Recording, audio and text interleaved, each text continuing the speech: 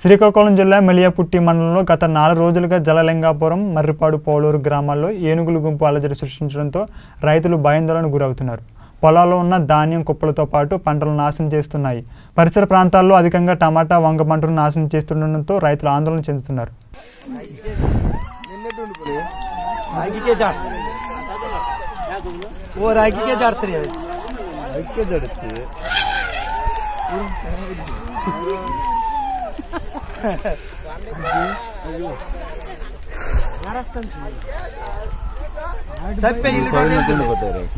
చెప్పలేరు మేలకు మంచి కిందకు మంచి మరి